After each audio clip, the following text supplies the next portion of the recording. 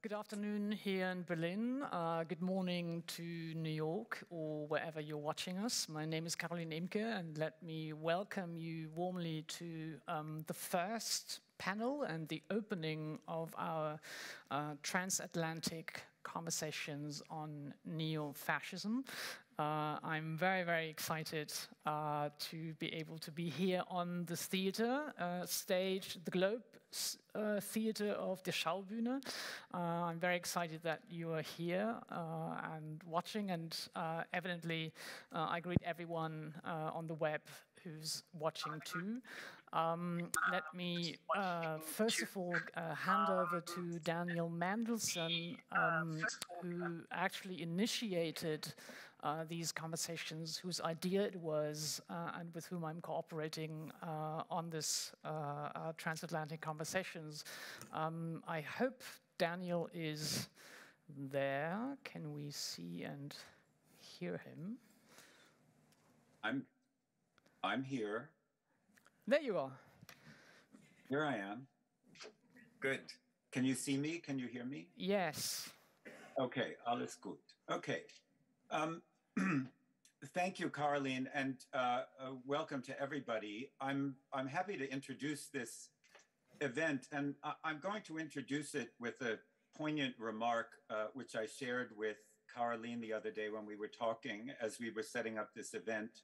I was speaking to my 91 year old mother the other day, who's avidly following world events for many years. And she said, I was born in the 1930s, and it looks like I'm going to die in the 1930s. And I, it, it, made a great impression on me, and it went to the heart of the event that Caroline and I have uh, been so excited to bring together today. I think we all know that in the past decade, there's been a striking rise, rise throughout the world of cynically demagogic, explicitly anti democratic right wing movements in a way that's really unparalleled uh, since the Second World War and the decade that led up to it.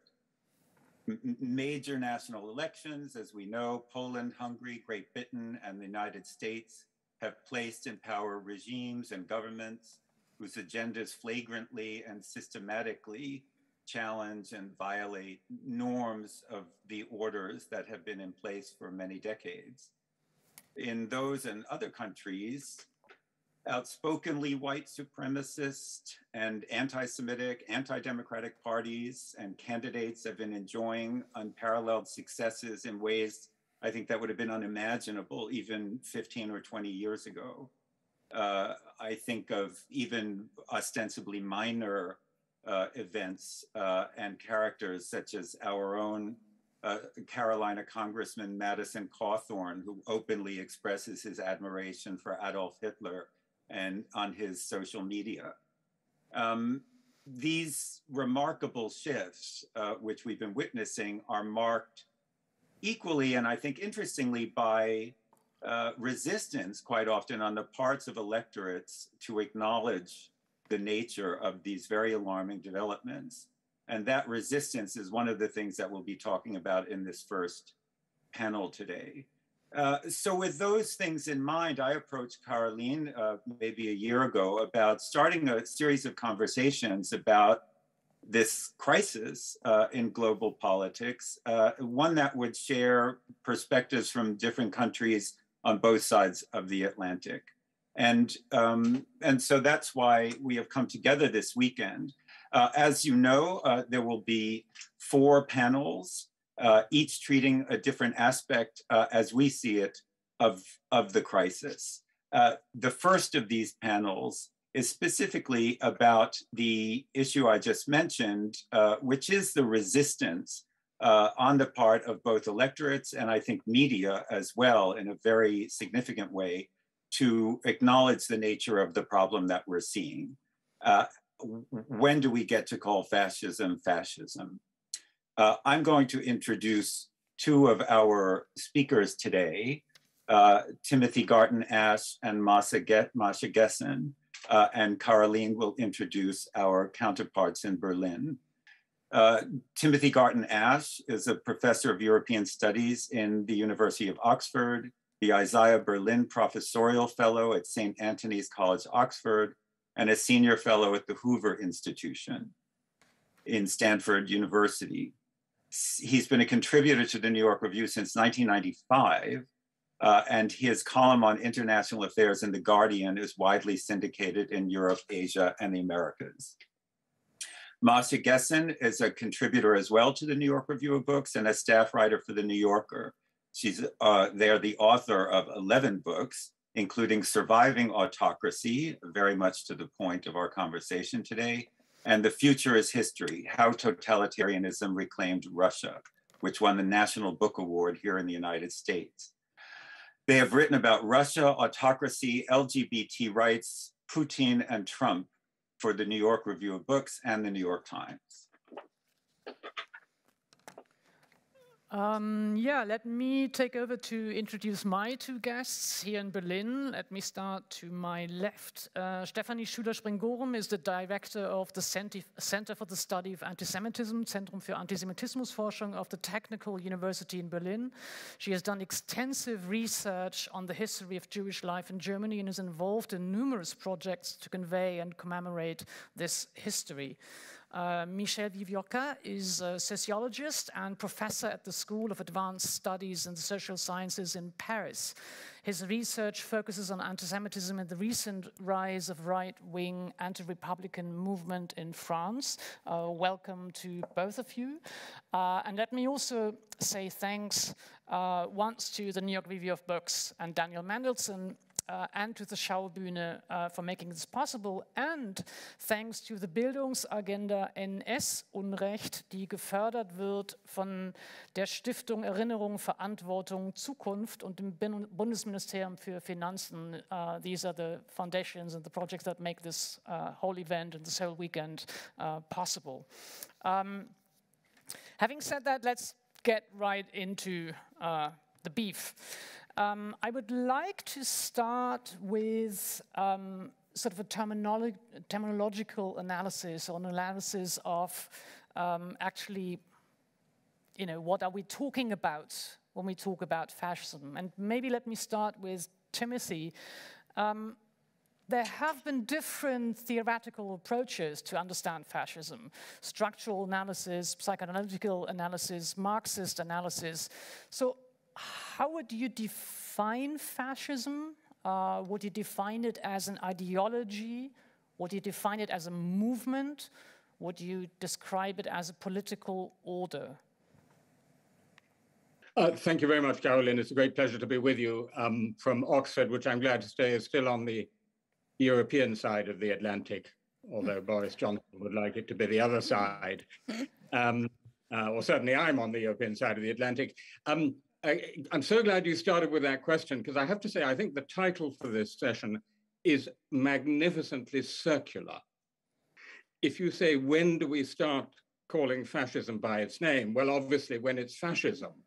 When do we call a spade a spade? When it's a spade. But that begs the question number one, what is a spade? Number two, is this a spade? Hmm. I think myself, I want to argue that's the wrong place to start. So let me explain why most unproblematically, fascism is clearly a term used about and used by self description a whole bunch of uh, movements and regimes, starting in Europe after the First World War, Italy, Germany, Spain, Romania, elsewhere, and continuing until, let's remind ourselves, in its final days, the early 1970s. Franco died in 1975. Mm.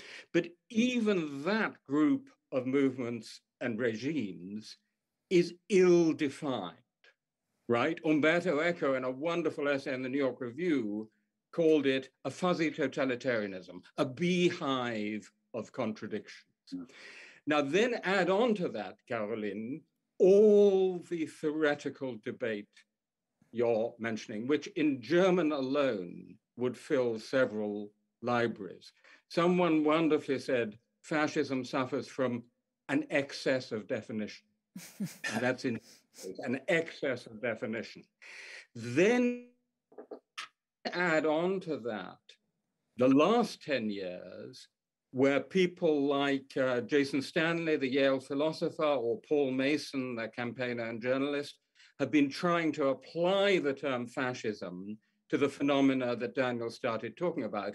And that adds a further layer of definitional complexity. Mm. So my own view is that actually the way to start, I mean, call me a pedestrian Anglo-Saxon empiricist if you will, but the way to start is not to start by trying to find a definition and then say, does Trump or Putin or Viktor Orban or Kaczynski or AfD measure up to it? But the other way around, I would start by looking at all those movements of our time and then saying, how does the history of fascism help us to think about them, to understand them?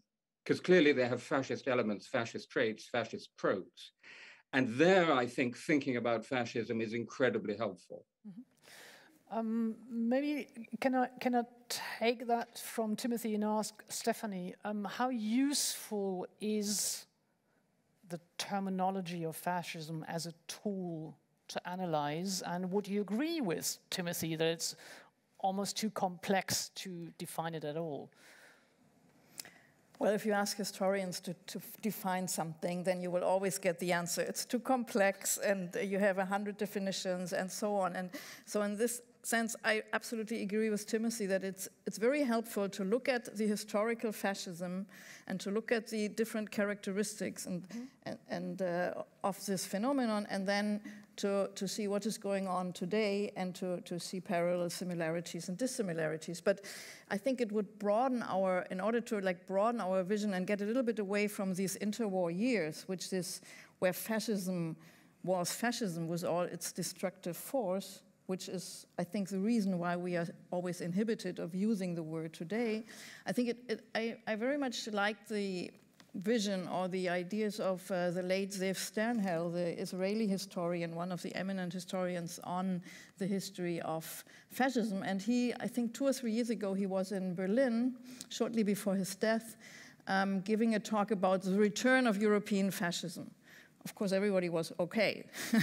That's what he thinks. But then in his um, explanation or in his perspective, he goes far beyond the interwar years. He says that fascism is kind of the core that came to power in the 1920s and 30s, but it's a part of a movement which is basically from the 19th century, which is the counter Enlightenment movement, which is directed against all the essential values um, that were developed during the Enlightenment, like equality, um, uh, fraternity, of course, um, rationality, human rights, etc. So, you know, so already in the 19th century, he can trace this movement of things that we want to go against it, against equality for minorities, equality for women, etc., etc. Mm -hmm. So in his perspective, the movement of what then was called fascism in the interwar years and had certain very specific characteristics, especially when it came to power, what the you know, the roots are in the 19th century, which also means it didn't stop in 45. In 45, we had military victory. Fascism was defeated in various countries except for Spain. But in Spain, the United States and later the Federal Republic helped the Franco regime in order to transform itself into a clerical military dictatorship, some or half military dictatorship, sort of the fascist roots of Spanish fascism were less important and after the Second World War. So he died in his bed. He didn't have to be defeated because the regime changed. Could I, could I take that up? So first of all, if we look at the 19th century, um, you would say it's uh, anti-enlightenment is, is, is one of the strong features or against all the ideas of the Enlightenment. Yeah. Um, now, if we look at uh, the 20th century, uh, you said it also had certain uh, characteristics, uh, evidently in different countries, you know, differently. But could you name some of those characteristics that you would uh, assign to this historic form? Yeah.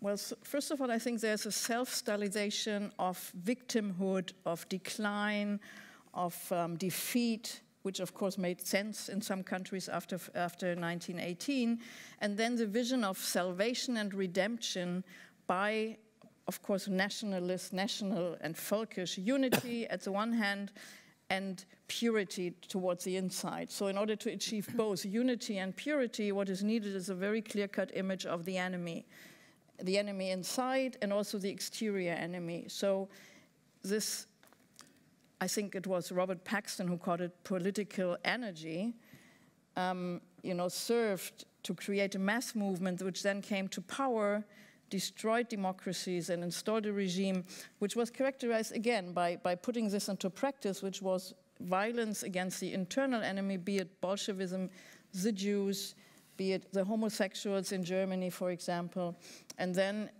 tending towards expansion, as did the Italians, especially in, in Africa and in, in, their colonial endeavors in Africa and wars, but also against Yugoslavia. So, and then of course the Germany was the Second World War and uh, and the Holocaust. So, um, this is like in, in, in those historians who have tried to to put this into a kind of like this history of fascism in interwar times in a kind of order, in a systematic order, they speak of different phases. You know, that this is a movement, first it's an, an intellectual idea, then a movement, then a regime with the always with the help of the traditional elites. Without the help of the traditional elites, fascism did not come to power anywhere. And then, when it, once it is in power, the, the tendency towards destruction, inward and outward. Mm -hmm. But I think it's important to see that it can also change backward, as in the Spanish case. You know, once it's not defeated, it doesn't have to stay in this. Uh, Daniel, if I may have one more question to, we need to coordinate the, uh, who, who's allowed to ask the question. So can I, can I have one more uh, to Michel and then, then You um, may, uh, you Michel, may. How, if, if we stay for, for, for a moment in that historic uh, sort of key phase uh, of different mm types of fascism. How central was anti Semitism to that fascism? Well, it depends if we deal with Italian fascism or with Nazism. And this is why uh, I think we must be very careful when we use the word fascism. It, at the, the, the very beginning, historically, it's Italian, it's fasci. It's not Nazism. Then, could it become a kind of family name for -hmm. Japan, Germany, Italy at that time. This is not totally sure. That's my first point. So if you want to deal with anti-Semitism, it is clear that Italy was much less anti-Semitic in this movement than uh, uh, Germany. This is absolute, absolutely clear. So this is my first point. Now to, to, to, to, make another step in your question, in the answer to your, uh, to your question, we must be very careful with anachronism. That is to say, using categories that were made for a certain historical moment, using these categories for other historical moments. And I am not sure that using the word fascism today is really appropriate, even if we use it not as a very historical, precise phenomenon, but as a, a kind of family name. Yeah. The people that are involved are not exactly the same. The discourse is not exactly the same. The forms of action are not exactly the same. We could, we could find many differences, including the relationship to violence. If I take the French case, I don't want to, to, to generalize too much, but for instance, you cannot say that the National Front is in favor of using violence in order to achieve their goals. You cannot say that. Maybe in other cases there is a, a more positive, if I can say it like that, relationship to violence. But it is not the case. It is not the case, at least in my country. So there are so many differences that, that we should be more, uh, we should work a little bit more and mm -hmm. create new vocabulary. Mm -hmm. Fascism, the, the, the word was obvious. It became absolutely clear. Today we don't have, and this is my last remark, we don't have the real good vocabulary. To deal with these phenomena. We say populism. We sometimes say national, national populism. We say extremism. We say uh, nationalism. We say extremism. But these are not words that are totally satisfying. So we have a problem of language in front of this phenomenon. This would be my, my point. So I, I am a little bit like Timothy. I would start from analyzing what is at stake, really, mm-hmm. concretely. What, what are these phenomena? What are these movements? And uh, I would not try to too quickly say, oh, this is fascism. Mm-hmm. This would be my position in this debate. Mm-hmm. Daniel. But uh, granted, and I think it's important to uh, begin with these, uh, let's call them definitional anxieties. Um, that said, and I, I'm going to uh, uh, address a couple of points, and then I want to turn to Masha Gessen, who has written very powerfully on, uh, on the phenomenon of a, a kind of resistance to acknowledging the nature of the phenomenon that one is looking at, whatever its name may be. Can we not, granted what, what everyone has said thus far, can we nonetheless establish a uh, I think it was uh, Timothy Garton Ash who used the word tropes, tropes that we see recurring, which are in common with historical fascist regimes xenophobia, uh, the, the sort of elevation of myths of national purity, anti Semitism, uh, um, nativism. Uh, the the fantasy of a original population that is now being threatened by outsiders or traitors from within. I would say and I'm not nearly as much an expert as all of you are, but it seems to me that these are, uh, are all of them traits that we have been seeing rise to the surface once again. And Masha, here I'm going to turn to you, and I would certainly like to hear a response to what I just said, but Masha has written very powerfully about, uh, among many other things, the way in which when there is an authoritarian figure who can manipulate these tropes, then we're in a, a familiar territory, even though there may not be exact correspondences historically, or they, these, the present phenomenon may have arisen out of a different set of constitutive circumstances. But when those tropes are wielded by a powerful authoritarian figure with a, a, great demagogic appeal, it seems to me that we're in the same boat, even though the boat might have a different name. Uh, Masha, what are your thoughts?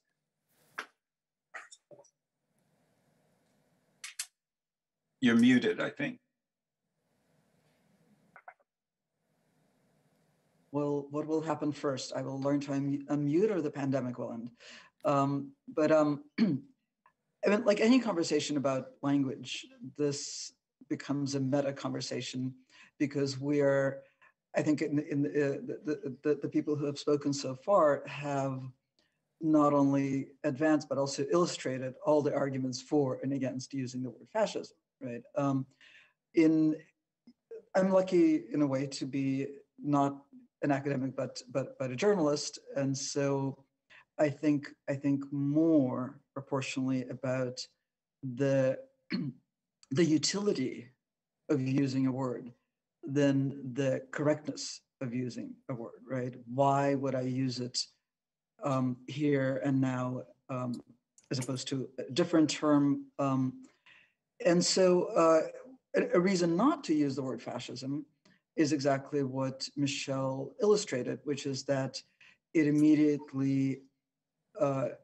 gets you into an argument about the differences between the current situation and historical situations, which will always be the case, right? Um, no period in history um, is exactly the same as any earlier period. No country, uh, no, um, you know, no, no, no political movement in one land is exactly the same as a political movement in another land. And I think that's a very strong argument against using um, a word that has been applied so many times to describe so many different things in so many different periods because it, you risk getting into this argument.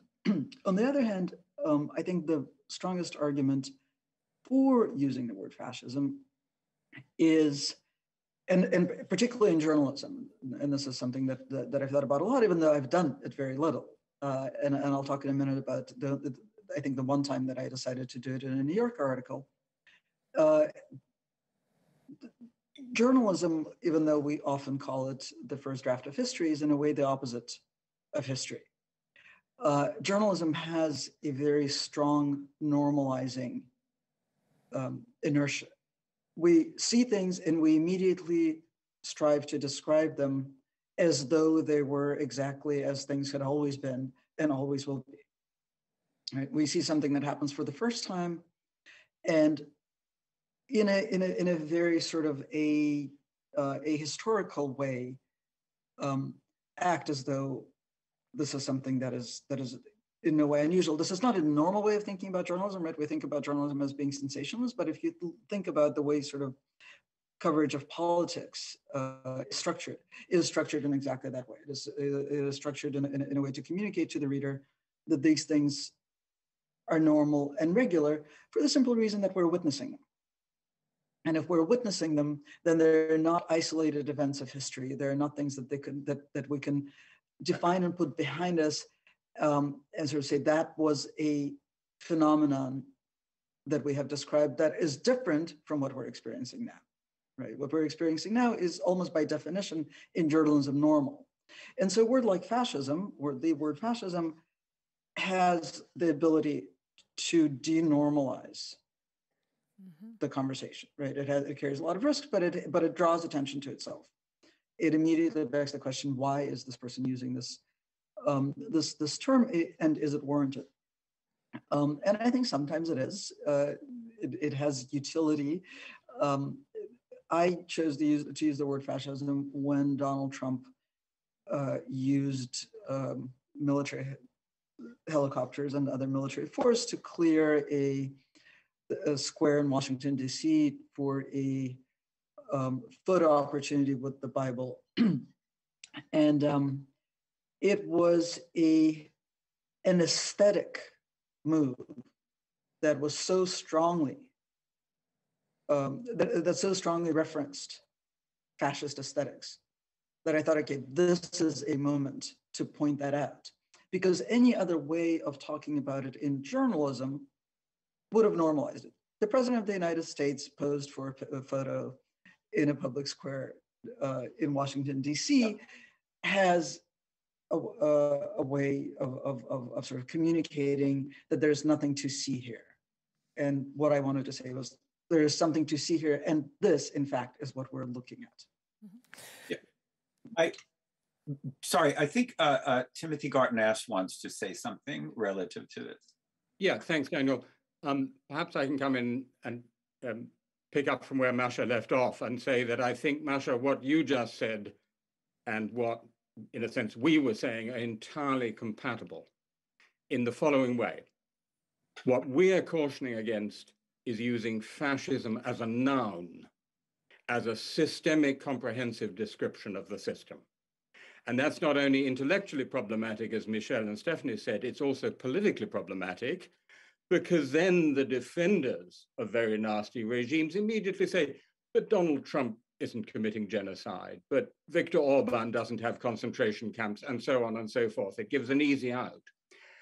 But I'm entirely happy and indeed in favor of using the word fascist as an adjective together with a particular noun fascist rhetoric, fascist tactics, fascist movement, post fascist party. All these things exist. So, for example, one I, I care deeply about, which is Hungary. I mean, a, a friend of mine who's a professor at the Central European University said to me just casually when we were talking about why so many people were leaving Hungary, he said, you know, they, they don't want to live in a fascist country.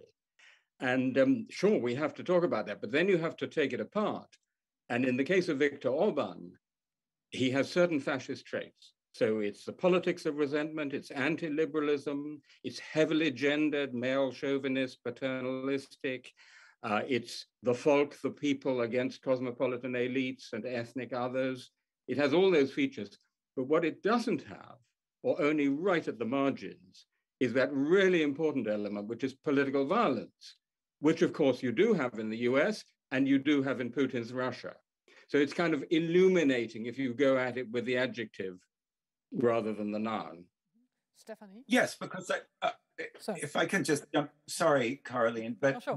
I, I suppose that what was I was saying before that, you know, if it looks like a duck and quacks like a duck, at what point do you call it a duck? And I think that I thought Masha's uh, point about the aesthetics of Trumpism as recalling the aesthetics of fascism, the, I, s- you know, one could have called this panel, How Afraid Should We Be? Maybe. Uh, and remember too that we're, we're talking about neo-fascism, uh, uh, just to be uh, just to be clear. But uh, again, is it is it useful to establish a, a list of traits, gestures, activities, and ideologies that the these governments and movements today have in common with traditional Mhm. fascist regimes in order to get us to the place where we want to be? Uh, If I can rephrase the question Daniel is asking now, uh, and I think maybe combine it with something uh, Masha has said, and that is, um, of course, I think one is uh, at least ambiguous about using the term fascism because one does not want to relativize the past and one does not want to relativize uh, the crimes of, of Nazi Germany in particular. Um, and yet, at the same time, with that caution or, or with that sort of strong normative desire to never ever relativize this past and therefore not use ever the term fascism uh, when it's inadequate uh, in correspondence to this past. Um, I think there's also the risk of somehow assuming fascism is only in the past. There is no continuity. It is a closed historic, uh, uh, you know, process or, or time. And um, to put it differently, I'm sometimes really, really worried that, particularly in Germany, the the I think the, the normative claim of my generation, the nie wieder, the never again, uh, I'm afraid it's somehow unintentionally prevented us from seeing what is there again. Um, and so, so I, I, I do want to take up, you know, uh, both Timothy's and, and Daniel's question of can we, you know, can we search for those features or characteristics that we think they have in common or that we now see again? Stefanie and then Michel. Yeah, thank you. I, I absolutely agree, Carolin, with also the German specificity with the problem of calling fascism fascism or whatever. But I think even if we don't use the term, we take, you know, get away with it, we have still a lot, I mean, a lot of reason to be afraid and to be scared. We, um, you know, just looking at the phenomenon in the, the present, and I think it also has to do, and, and you mentioned it a bit, Carolin, with we are in a kind of trap of teleological thinking of history in the sense that this was 45, it was finished, we defeated it, and not we actually, but others, thankfully. And, um, and then democracy was like, you know, was, you know, the idea of political regime that was to be, a, a, you know, headed to. I mean, that countries were becoming more democratic, and I guess even in, in, in not only in the West, but also in, in the East and in, in, the global South, you know, this was like there was a certain idea of democracy, human rights, this is what we have to achieve. And, um, and this is what we will achieve. And then in 1990, you know, there was this sh- very short moment of euphoria, which was followed in Germany by the so-called baseball club, baseball club years, by like, racist murders, like when in, in, the, in German streets. So I think the, uh, why should history, I mean, history does not repeat itself, but why do we believe that enlightenment and democracy is like the, the thing that we will all move to? Or that history is moving to. I think this is a wishful thinking. It's, it's almost a childish thinking that I also have, I, but um, it prevents us from mm-hmm. accepting that maybe it's not so. Maybe this phase between 45 and 1990 was the exception, and we are Yeah. going back to normal. normal. So uh, Yeah. I think, yeah, maybe I, I, I stop here. And I see Michel wants Michel? to join in. Well, I come from a country, France, which was not considered as having been fascist, but we have been Pétainist, which is not so brilliant, that is to say, collaboration with Nazism. So today, if there is a revival of something in my country, people, if you say it's fascism, it does not make any connection with our French past.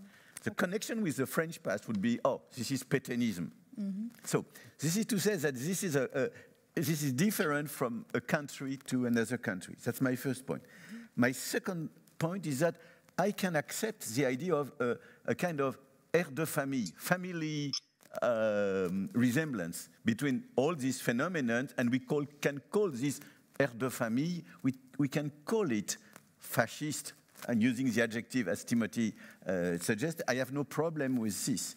The problem is also for me that, that is that uh, this phenomenon have an history. When we say fascism, speaking about Italy, at the very beginning, it is very different from what it was at the very end. It begins with a social movement, with social protest, with marches, with, uh, I, have seen one day, I, I, I recommend this, this, movie, a movie, Mussolini in Trieste. A big, big meeting, you understand what is the relationship between the leader and the movement. You know, thousands and thousands of people and the leader. So, so, but at the very end, it is not like that. It's not this big movement and this big relation with crowds and so on. It's something else.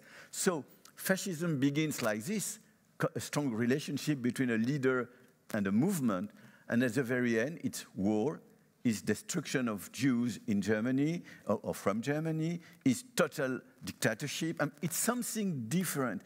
Would you call fascist the, uh, Germany in 1940 or in 1941 or 1942? I am not so sure. So this is to say, we have to be very careful. And my last point, and I, again, I, I, I join what a certain number of things which have been said. At the very end, I think that what we should do is to say, look at these different cases in Europe or in, uh, in America or in other parts in the world, look at this. Maybe they are not perfectly fascist. Maybe there are only some resemblance. But don't forget that this leads to exactly. awful results. Yes. So that's the point for me. It's the lesson of history are it begins differently, it means different things, it is different. Uh, okay, maybe we should not call it totally fascist, okay? But look, it begins like that, and the end may become what we have seen in Germany, in Japan, or in, in Italy. So I suppose a problem to come back to something that Masha Gessen said, uh, uh, uh, speaking Masha as a journalist, and the points that you made about the uh, the kind of um, challenges of how to describe these phenomena that you see in a way that doesn't raise, uh, let's call it false alarms, but does signal the seriousness of what you're talking about. So let's maybe try to reframe the issue as a question about so aware as we are of the historical differences, of the specificity of certain kinds of fascism in history, how do we talk about it on a practical level as a journalist? You know, when you see these leaders using the same rhetoric, using the same political tricks, uh, uh, you know, there was a lot of talk here, for example, when when Trump uh, kept referring to the press as liars and you know fake news. And people said well you know it's just like hitler and the lügenpresse. And people said oh no no it's not like that. And and you think well why isn't it like that? It's the exact same it's the exact same gesture with the exact same aim so what so i guess i want to rephrase this as a question so what is the right way to write about it both as scholars but also as working journalists if we feel there is cause for alarm um, well, that's a simple question to answer. Um, um, I don't know, Daniel, uh, uh, is the answer. Uh, but um, I want to pick up on a couple of things that that that um, Timothy and, and and Stefanie said, and maybe that will be a little helpful in in sort of making our, our way in this direction. Um, I mean, it's amazing, uh, Timothy, what you said about your Hungarian friends, because um, one of the most important conversations of my entire life was when I was, um, I think, 12. And um, my family had applied to emigrate from the Soviet Union. And I asked my mother, uh, why are we leaving? Right? I mean, we had a wonderful life there. We had friends, we had community, we had, um, you know, my parents had intellectual jobs. Why are we leaving? And um, and my mother said, because we live in a fascist country. And that was mind blowing mm-hmm. because even though I, you know, I was I was a very smart kid. I was reading Samizdat. Can you say was, when that was? Can you can you give us the year? Uh, this would have been 1979. Um, I was, you know, I was I had read Solzhenitsyn. I had read uh, Mandelstam at that point. Uh, I was, and, I, am citing those two because I, I sort of was aware of the facts and uh, of, the, of the Gulag uh, and Stalinist terror, and I was sort of steeped in the aesthetics of, of resistance to it. And it had never occurred to me to put that term to it, right? Um, we talked about Stalin as Stalin. We talked about post-Stalinism as post-Stalinism. We never talked about it as fascism. And the reason right? It seemed like an incredibly brave and brilliant thing for my mother to say was that the historiography that we're steeped in um, was that fascism was something unimaginable. Mm-hmm. Not only was it over, not only was it defeated, but it was unimaginable. It was the other side of human, right? Whatever was happening to us in the Soviet Union was just you know, life. Mm. It was terrible, but it was life. It wasn't the other side of human. And I think that this is where um, you know, Zygmunt Bauman's work on uh, the Holocaust, which places it as an expression of a human potentiality that is it is as the most human thing mm.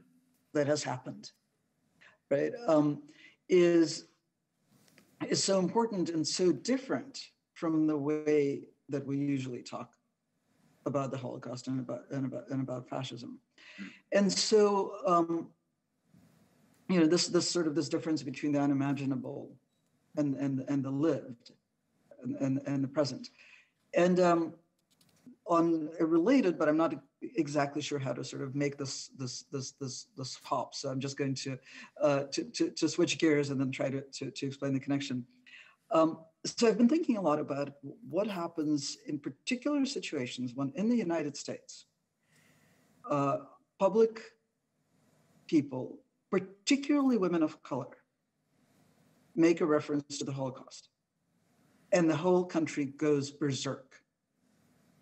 Um, and I think it has a lot to do with the either explicit, as in the case of Alexandria Ocasio Cortez, who made a comparison to the uh, to con- Nazi concentration camps, when she was talking about uh, US immigration detention centers for children who had been separated from their parents.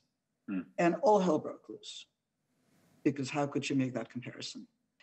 Uh, and then just the, the, other day, Whoopi Goldberg, the comedian, um, said something um, ignorant, but also kind of understandable about the Holocaust. Um, in sort of understandable in the in the in the, in the uh, American understanding of, of, of race politics. And all hell broke loose, and she you know she apologized immediately. She was suspended by ABC News, and I think there's a particular uh, fear of people who are in a position to talk about the, uh, the uh, to talk about white supremacist politics in the United States, uttering anything that has to do mm. with uh, with Nazi Germany because that makes that connection between mm-hmm. the lived and the unimaginable possible. That in no way answers your question, Daniel, but um, but I hope it advances the conversation. Timothy. Yeah, um, since Masha, about the time Masha was hearing that from her mother, I was actually having lunch with a fascist in 1978, a real fascist, um, the former leader of the British Union of Fascists, Sir Oswald Mosley uh, in his villa outside Paris. There were still real capital F fascists around at that time. And in the middle of lunch, he delivered himself of the following sentence in very bad French. Nous disons que le marxisme est totalement fini. We're saying that Marxism is totally finished. And I thought at that time how absurd, because of course Marxism is still very much alive, but fascism is dead. Mm. So our experience in Western Europe was, Masha, this is something completely unimaginable here. Communism is really alive. That's a serious threat, but it's absolutely dead. And now we're quite rightly talking about fascism, like my Hungarian friends and many others. Mm. But I have to say, when I then sat down with my Hungarian friends and said, Do you think Viktor Orban's regime is actually fascism? The answer was no, it has fascist traits, it has fascist elements, it's bad enough, but it's not actually fascism. And one element of that is so, so I was talking to a really brave investigative journalist in Budapest from an outfit called Direkt36, which has been exposing the Orban regime's corruption and so on. A great guy. And I said to him, hey, look, aren't you afraid of being beaten up in a dark alley? Aren't you afraid of something happening? That's what happens to journalists in nasty places. And he said, no, no, absolutely not. Actually, absolutely not. And then he said, and you know, we're in the EU. And I thought that was really interesting because, you know, Daniel, we're talking about all the similarities. There are a lot of similarities. Yeah. Also between, say, Orban and Putin mm-hmm. or Le Pen and Trump. But there's one really big difference, which is about not only the glorification of violence, of martial virtue, what used to be called bellicism, but actual political violence. I mean, you in the United States have chronic endemic political violence. Putin, well, Masha's written brilliantly about this. It is actual political violence. Um, but our European regimes with fascist traits, I'd put it that way, are nasty enough, um, but on the whole, so far, without that really important and dangerous feature. Could I, uh, could I um, ask um, both Michel and Stefanie taking something up that Masha said. For me, it was really, really helpful, the answer that you thought wasn't an answer to Daniel's question about uh, the unimaginable and the lived. Um, and here's why. Um, I would say that the last um, five years at least, probably the last 10 years, was a succession of moments both in the US uh, and in Europe where I said, this is, this is unimaginable. I mean, this is, this is right. beyond anything uh, I, I ever thought that I would witness in my lifetime. And I remember when you, Masha, uh, wrote the text, um, the, I think in the New York Review of Books, also Autocracy Rules for Survival, uh, right after the Trump election.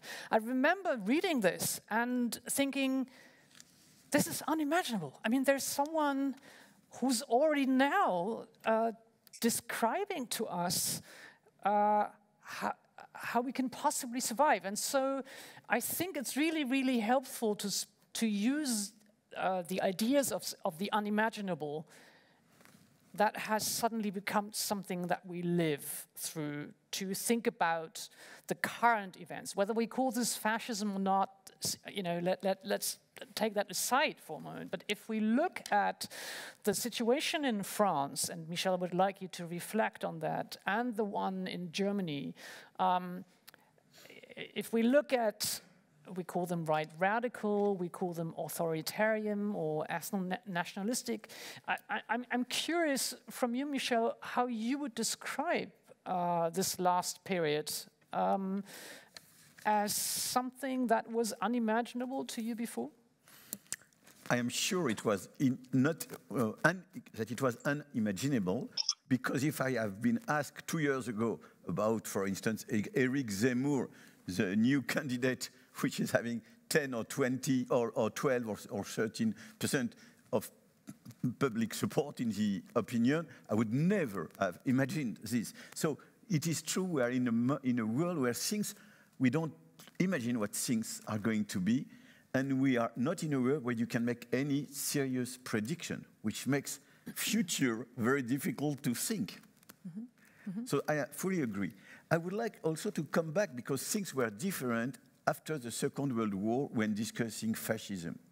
I was thinking, listening to Masha and listening, well, to, to, to everybody here, I was thinking uh, in the 70s, the big debate was, was not between fascism and or not. It was between fascism, it was between two or not different totalitarianism. Mm. It was Hannah Arendt uh, position. In my country, people, we, we, we, had a very solid communist and Marxist tradition. Nobody, almost nobody wanted to listen to Hannah Arendt because she was saying fascism and Stalinism are two totalitarianism. And it was very difficult in France to understand what Solzhenitsyn was saying. It was a big, big debate. So my point is that at, there was a moment when the debate about what we are calling today fascism was with an adversary or with an enemy. Mm -hmm. Soviet Union, Marxism, communism, and, and so on. Today, today, fascism does not have such a strong enemy. Or if there is an enemy, we could call it democracy, from my point of view. And so things are very different. The, the way we built the debate is very, very uh, different. And this is maybe why things are not, we cannot imagine. When we have a kind of war between two totalitarianism, we can imagine mm -hmm. the future. Mm -hmm. It's called uh, James Bond or whatever. I mean, we can imagine many things. But today, those people are destroying democracy. And if democracy is destroyed, we don't know. Could you describe, for those who don't know the situation in France that well, could you describe a little bit the, the current right radical scene or the, or the different kinds of, let's say, uh, uh, well, I will try to do it in 30, in 30, seconds, which no. is not so easy. So, but I will try. You can have much more than One minute, seconds. maybe. So, in France, like in many other parts of the world, we have a crisis of, represent, of political representation. The political system is totally defeated. So what we have today is extreme left, we have a kind of populist extreme left, which is called La France Insoumise. The leader is called Jean-Luc Mélenchon. This is maybe 10% of the voters.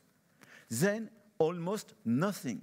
We don't have any serious uh, predictable, uh, to speak like that, left in my country today. The Socialist Party does not exist anymore. The Communist Party does not exist anymore. So you have extreme left, then almost nothing, then the president, Emmanuel Macron, with center right, to speak very quickly. Then you have a classical right, which is not in a good state, but which is not totally defeated. And then we have two important expressions of what we can call extreme right. On the one hand, what, what can be called now the classical extreme right with Marine Le Pen and her party, which was called the National Front, they changed the name, but let us say National Front. So, which is, which tries to be very respectable, which, for instance, they never accepted violence in name of their pr program, never. So that's on one side. And then an outsider, whose name is Eric Zemmour, he was a very well, he is a very well-known journalist. So you have also awful journalists, Masha, not only good ones. so he is a very uh, writing in the right, in the very rightist and extreme right um, uh, media, and with the support of a very important TV channel, which is a little bit like, like Fox in the state. So we have today two important forces on the extreme right. Marine Le Pen tries to be more and more respectable, mm -hmm. and, eh, and Eric Zemmour is, it's a very complex situation. On the one hand, at the right of Marine Le Pen, with some uh, neo-Nazis people in his uh, political uh, sphere and so on, and on the other hand, saying, I am the one that can talk with the classical right. So, so extreme right, nothing, I exaggerate a little bit, extreme right, nothing, Macron, classical right, a little bit, and two extreme forces at the extreme right. That's the situation in my country, three months before a presidential election, which will be followed immediately by uh, uh, legislative elections for the parliament.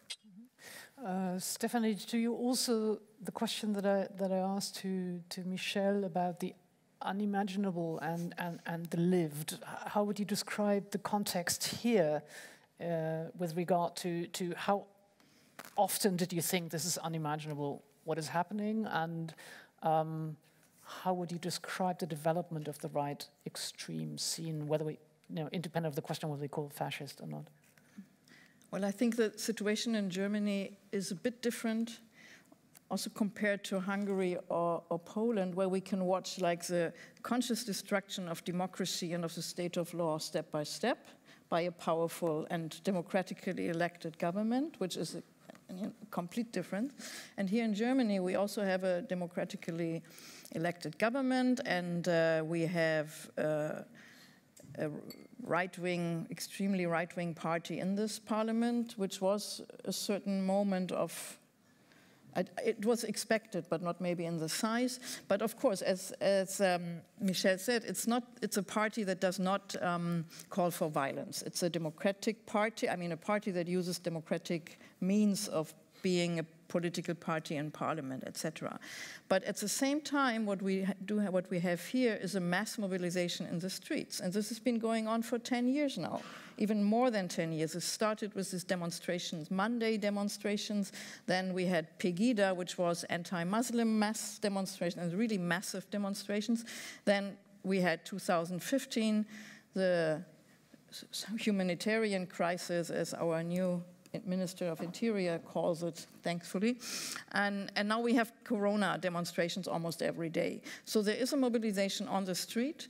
And of course, we all know there is even much, much more mass mobilization in the social media, which is turning more and more violent in the social, on the web and also on the streets. I mean, you can see how this is becoming worse and worse, and more, and there are death threats to politicians, and uh, you know, people who are engaged in politics or from the civil society, etc., etc. But my moment of disbelief and deep, deep frustration was after, I mean, the killing, the murder of Walter Lübcke, this politician in the country of Hessen who was killed by a right-wing radical or terrorist or what, however we want to call him, because he had been friendly to refugees in 2015, and there had been threats against him, and then he was killed kind of cold blooded on his um, terrace in front of his home.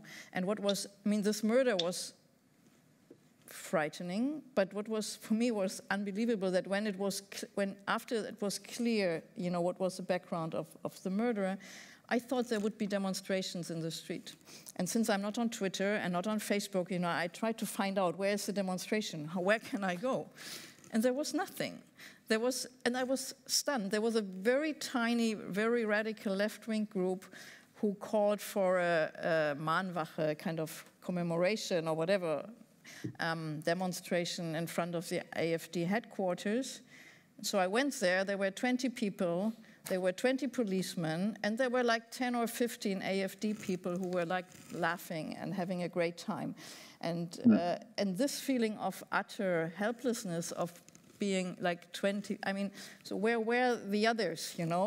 Um, I was stunned and I was frustrated and also scared.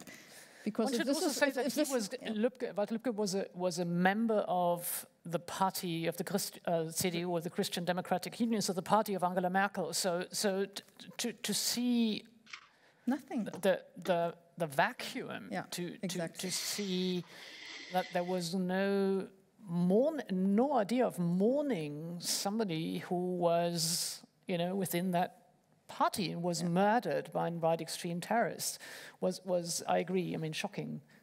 Yeah, and I mean, we have been used to racist murders. I mean, as I said, in the 1990s and lately again. But this was, um, if I remember correctly, the first time that a politician, you know, an acting politician was killed by a right wing terrorist and nothing was happening. Mm -hmm. So, if this is the resilient forces in this country, you know, I do, I am worried. It, it seems to me uh, what you're saying uh, just now uh, brings us back to an issue that Timothy Garton-Ash raised about political violence being a, a, a uh, distinguishing factor between historical kinds of fascism, certain kinds of fascism in Europe, what's going on in the United States, which is anyway a very violent country. But I want to somehow connect uh, thoughts about political violence as an element of the mix that we're interested in, and Masha's concept, which I think is very useful, of the unimaginable. So uh, some of you may be aware that uh, just two days ago, the Republican National Committee uh, which is the highest governing body of one of the two major political parties in this country, has officially declared that the deadly, murderous political violence that took place at the United States Capitol on January 6 last year was a legitimate form of political discourse. And this seems to me to combine two of the elements we've just been hearing about.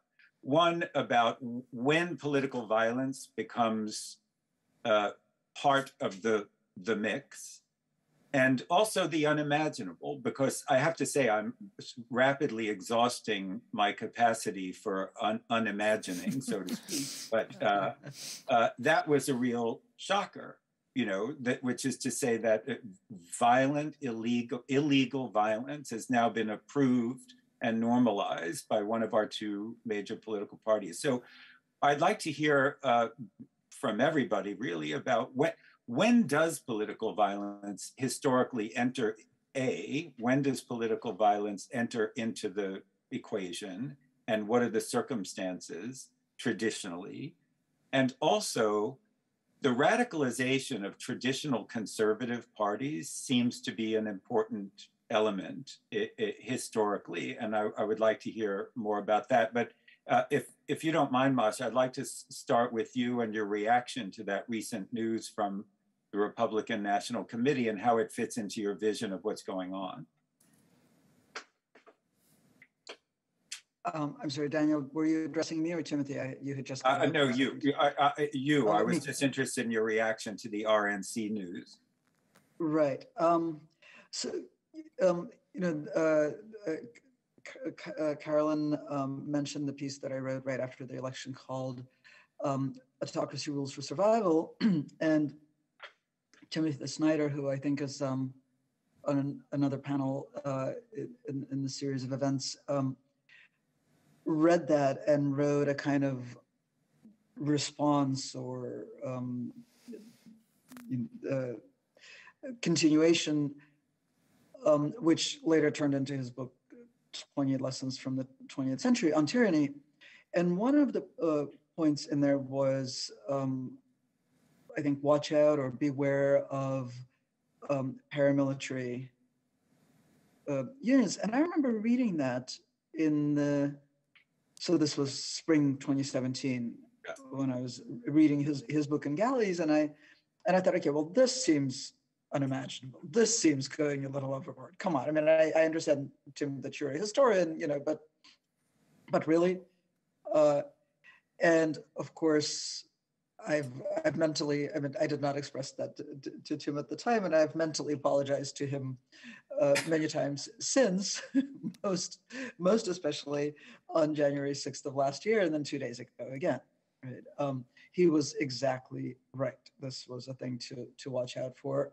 it happened much faster than uh, anyone I think could have imagined. Uh, I did I didn't imagine it happening at all. And this is, at this point, I mean, I, um, I think um, I got used to thinking when I was still living in Russia and reporting on Russian politics, I got used to thinking of things as shocking but not surprising because you yeah. see something that is absolutely part of the logic of events. You could have predicted it. And yet, when it happens, um, you feel struck by lightning. Yeah. And that is exactly my reaction to the to the RNC news.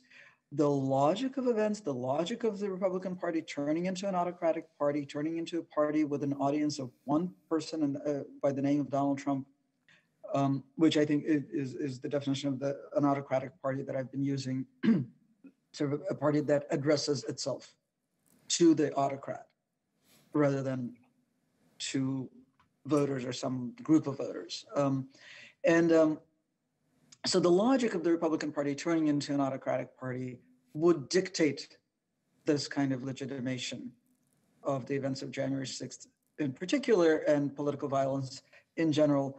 And yet, when it happened, I couldn't believe it was happening. Mm-hmm. Yeah. Timothy, you want to? Yeah, um, the Polish writer Stanislaw Lec once said, I thought we'd reached bottom, and then I heard knocking from underneath. And that's what it's been like for the last 10 years. We thought we reached bottom, and then we had knocking from underneath. I want to say something slightly different, which connects to this, which is I, I think we have to watch out for the picture that automatically comes into our minds when we talk about fascist or fascism of a kind of downward path mm-hmm. of a descent into the swamp and into hell. Mm-hmm. Um, Tim Snyder, my good friend, had a great line post truth is pre fascism. Now, it's a brilliant line, but what it suggests is that what is worst about post truth is that it's a prelude to something even worse, which is fascism, that we'll go on down. And actually, it seems to me that in Europe, and I think here, we are still different from Russia and the United States. Mm. Is that actually these fascist tropes, Daniel, these fascist elements may not lead us to full blooded fascism with mass political violence and all the worst horrors, but they may, may lead us to something which is very bad, which is, um, I would say, hyper polarized post truth politics a kind of hybrid regime in which exploits mass democracy, which, by the way, is a, is a feature of, of, of historical fascism. Historical fascism is a perversion of mass democracy. Sure. It, it exploits mass democracy to set it against liberalism, right? So you have a stable state, which is very bad, post-truth, hyperpolarized politics, um, its victim is liberalism, but it's not the full dress fascism. but, and that is what I see happening in Europe at the moment, and, uh, and, and that's bad enough in itself. But if we look at, um, I mean, it's one, it, it, seems to be one distinction to say in Russia and in the US we have uh, yet another uh, danger or, or, or, you know, a lack of institutional maybe resilience or resistance.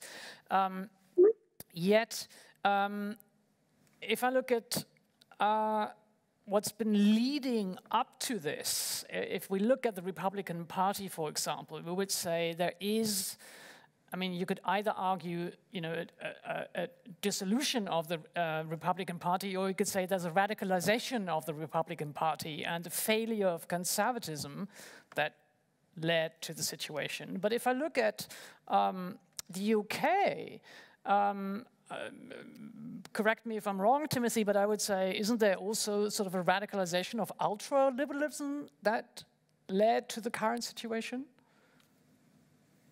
a radicalization of ultra liberalism. Tell yes. me who you have in mind. I mean, Boris Johnson seems to me a radicalization of fun, but not a radicalization. The radicalization of, of what?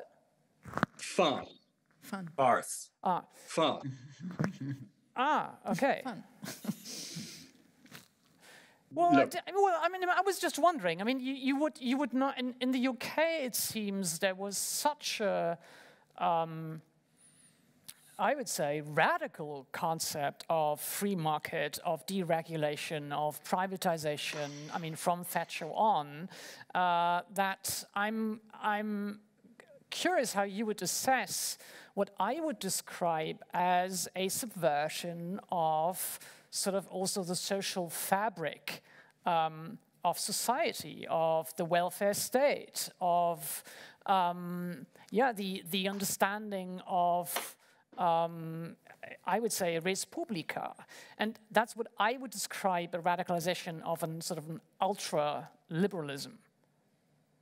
Um, I would reject the term ultra liberalism. Okay. I think it's a perversion of liberalism. Uh, okay. It's self evidently the case that quote unquote Thatcherite neoliberalism, market fundamentalism, brutal globalized financialized capitalism had a terrible social impact in Britain and is therefore one of the causes of the Brexit vote. That's that's obviously the case.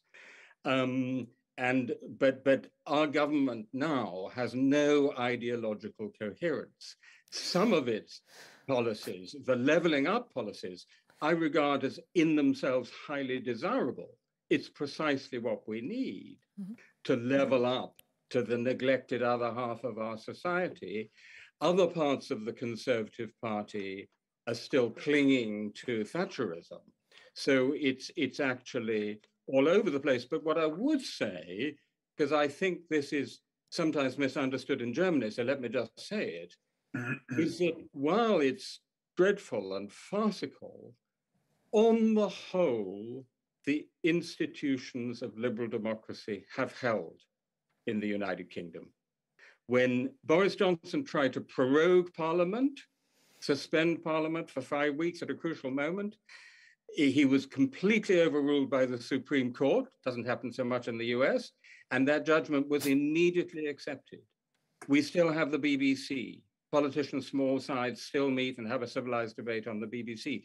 So there are certain features that have actually held in Britain and actually distinguish it from the kind of hyperpolarized post-truth politics that I'm afraid you have in the United States or indeed in, a country like Poland.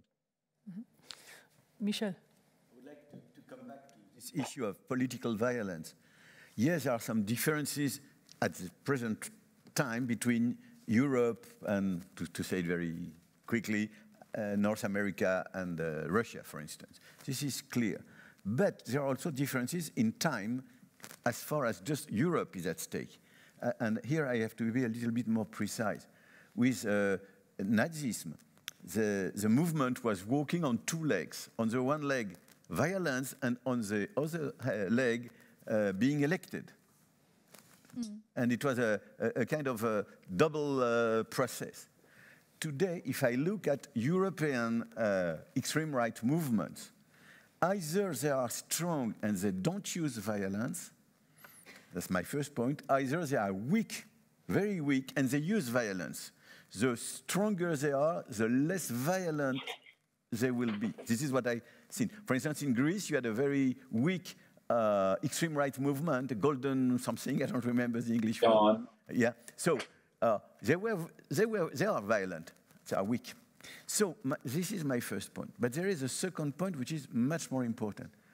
I don't know if it is true for other countries, but in my country, during 30 or 40 years, political violence was almost totally illegitimate, not legitimate.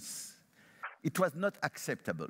In the 60s, in the 70s, yes, Marxist, revolutionary, and so on. Uh, maybe you remember Jean-Paul Sartre writing terrible things about decolonization using violence and so on. So, but after that, during 30 or 40 years, there was no room for legitimacy of violence.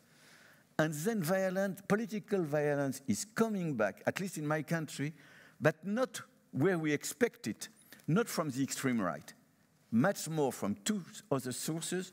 On the one hand, les gilets jaunes, yellow jackets, and, with the, uh, and the violence which was coming with yellow jackets was extreme left violence, ultra, we call it ultra left, on the one hand, and on the second hand, police uh, excesses, the, the, the, way the government used the police in order to finish with uh, uh, protests by the Yellow Jackets was also full of non-legitimate violence. Mm -hmm. I have no time to be more precise. So what I want to say is that when we deal with this idea of political violence, fascist, and so on, in a, in a situation just like the situation in France, we must understand that political violence is not where we expect it necessarily to be, and maybe in other parts of the political or social uh, spectrum. It's interesting because here I would say what has the transformation of the of the scene of the radical right that we witnessed in the past 10 years or 15 years, Stefanie, correct me if, if I'm wrong, I would say was that we used to have or uh, you know, there's sort of a more intellectual scene of writers, publishers. Uh, on, on, the extreme right, there is a scene of sort of hardcore hooligans, comrade scenes, people who are willing and ready to commit, you know, racist or anti-Semitic uh, attacks uh, and, and who want to use political violence, and a political representation of a party, mm. uh, you know, that tries to reach uh, uh, representation in the parliament.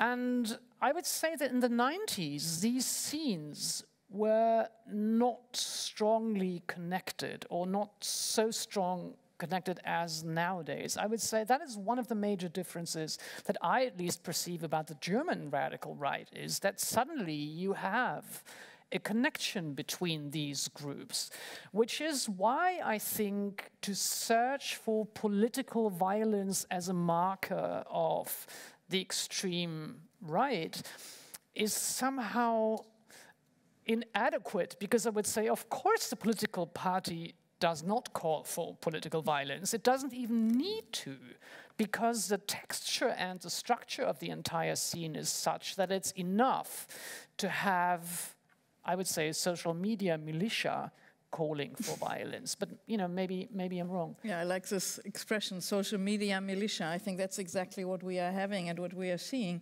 Um, and I think the AFD in Germany is very smartly flirting with violence.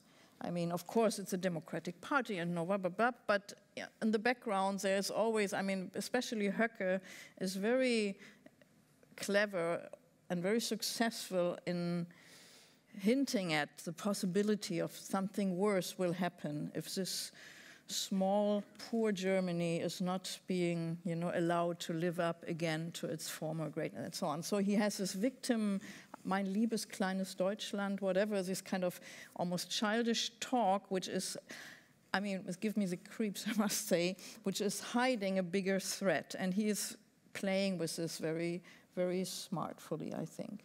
Um, and and it, I, I, must say, as I said with Lübcke, it works. I mean, I do feel threatened, but I think we shouldn't be so. We should be more courageous in a sense of not being, you know, and this is maybe also the term fascism or not fascism, of mm -hmm. letting ourselves be so intimidated by these theater performances that we watch. I think what is much more important is to look at the day-to-day -day racist violence in this country, which is there, and to look at what is going on on social media and on the you know, complete um, explosion of language in a, in a violent and fascist, and there I would say fascist sense. Mm -hmm.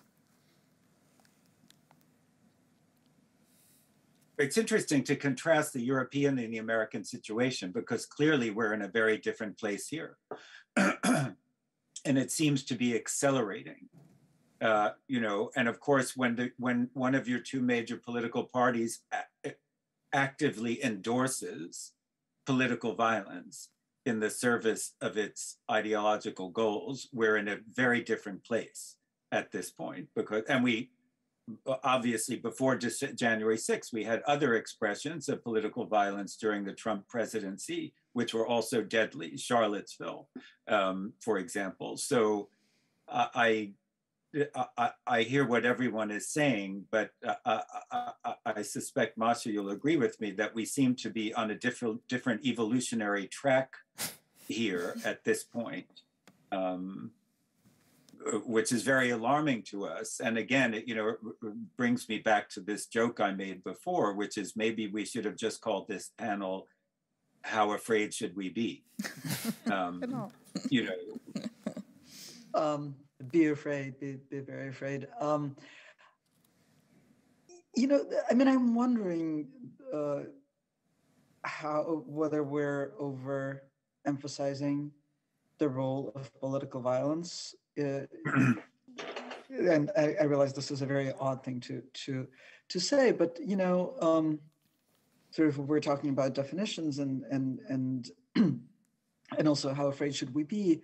There's a um, there's something that I think we learn from looking at um, at Soviet totalitarianism, right, which was much longer lived than uh, than German totalitarianism, and that is that an economy of violence is possible.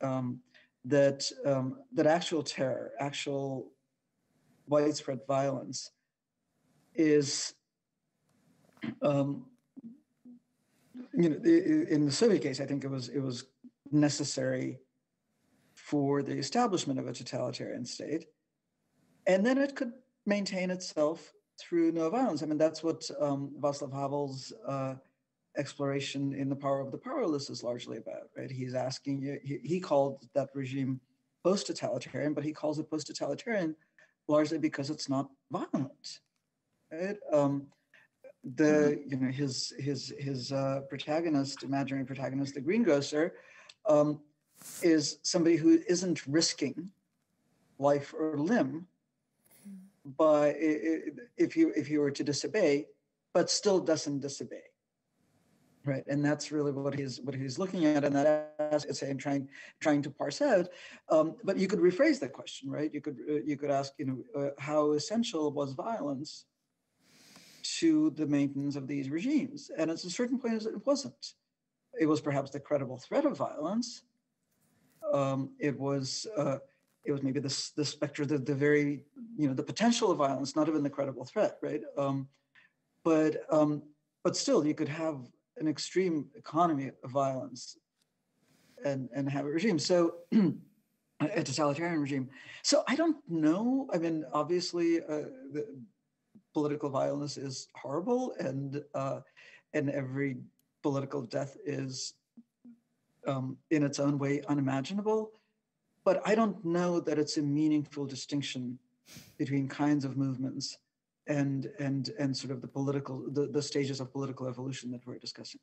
Hmm. But listen, if we're talking about political violence, we can't finish this discussion without reminding ourselves that the regime in the world, which in my view could most nearly be described as fascist, namely Putin's in Russia, has more than 100,000 troops on the frontiers mm. of a European country, Ukraine, uh, threatening to invade that country. By the way, with the justification that these are Ukrainian fascists. So it's not just political violence, Carolin, in the small scale, mm-hmm. it is uh, the glorification of war, bellicism, and the readiness to use violence and military force as a means of politics. And that's a challenge you might call it a fascist challenge, we actually face right now in Europe. So, you know, if we're thinking of conclusions from this panel, you know, one of the things we need to do is to deter Vladimir Putin uh, from invading Ukraine. Mm-hmm. Yeah. Masha, do you want to? Sorry. um, well, no, no. I was just uh, that was that was a deep sigh. I I I, I just I, am just back from Ukraine actually this week, and uh, I mean, yes, it would be lovely to deter Vladimir Putin from invading Ukraine, but um, but I don't know that it's possible. And um, uh, so you think, the, he will? I, am not. I mean, I don't think anything on that score. I think that um, uh, I think only he knows. Well, and he may not know right now whether he will or not. Um, I think that the, it's it's one of those inevitable logic phenomena where the threat, uh, the, the plausible threat of invading Ukraine has become essential to his regime. Sooner or later, he's going to make good on that threat. Is he going to make good on that threat in the next weeks or months? I have no idea. And you know, I'm not at all convinced that that's going to happen. Uh, but considering sort of the inexorable nature of it at this point, um, it's going to happen eventually. And I think the deterrence is uh, is a very difficult question because I think the usual tools of deterrence are not going to be effective.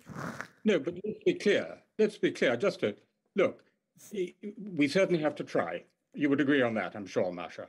We should try. Yeah, you'll give me that.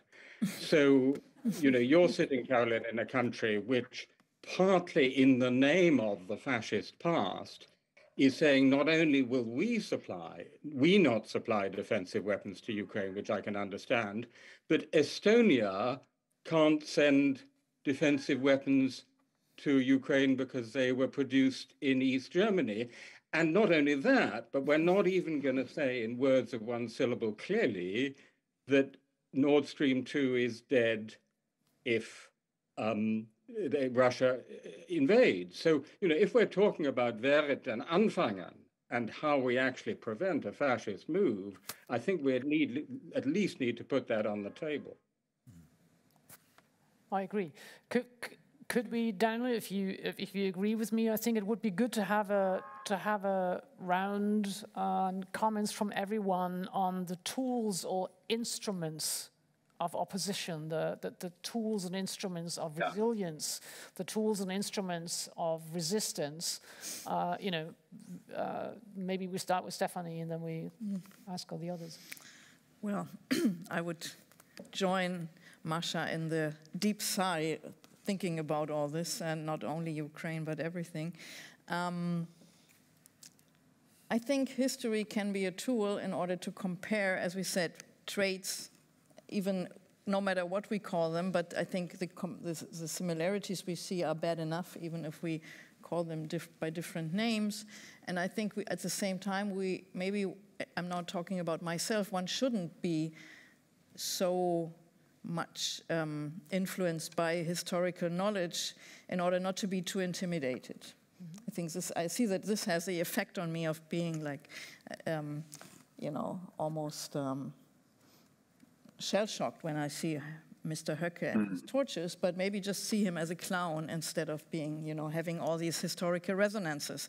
So, I, and, and I think to, to have this, we need to have this equilibrium between those two poles uh, as far as inner resilience is concerned. And, and, and the rest is very simple and very boring. Defend democracy and defend the state of law and free media.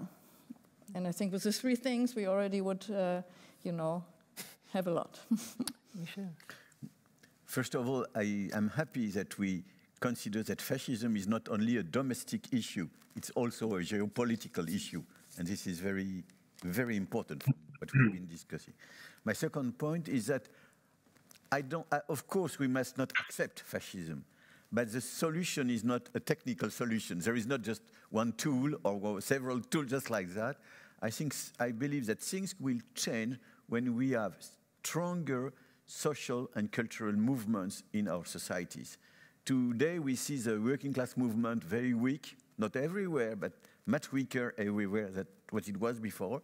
And we don't see with so much strength the new cultural, ethical movements, gender, race, uh, human rights, and all these movements. I think that we shall have less fascism when these movements are stronger, so they need more support from journalists, from intellectuals, from social scientists, and so on.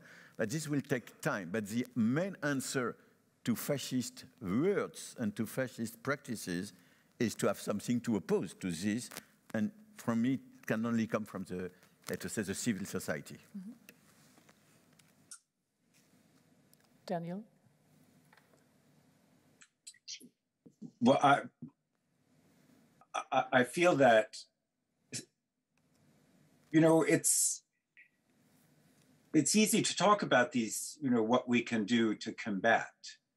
Um, I think uh, actually, maybe this is a good way to end, but it's certainly in our next panel, which is specifically about demagogy mm. um, and uh, the problems of uh, demagogy, I think will help us to address some of these questions about why people uh, become enthralled with these kinds of uh, authoritarian figures because I think, you know, of course we can say, well, we have to resist and we have to strengthen uh, social fabrics and all of this. And I certainly believe that. But there's a question hovering over this discussion, which, as I said, I think we'll be dealing with straight on in our next uh, conversation, which is why these people, excuse me, are able to rise to the top to begin with, which I think we really need to be talking about. Uh, and I'm very much looking forward uh, to that conversation. But, you know, we could all say, well, yes, we know what the problems are and we know how to fix them um, on paper, so to speak. But, but there are obviously deep sociological currents at work here that have allowed these political situations uh, to arise in the way that they have done, and, and we'll continue to discuss those. yeah, uh, thanks very, very much, uh, Timothy Garton-Ash uh, in Oxford. Thanks very, very much, Masha. I assume you're in New York, but I'm not sure. yes. Uh, thanks, uh, Stefanie Schüler-Springorum, Michel Wieviorka here in Berlin in the Schaubühne. Thanks everybody here in the audience. Uh, and thanks very much everybody who's been watching on the stream. Uh, we'll be back with the topic Daniel just mentioned in, I think, exactly an hour. Um, an hour. So please uh, join us then. Uh, we'll be back. Thanks very much, everybody. Thank you. Thank you.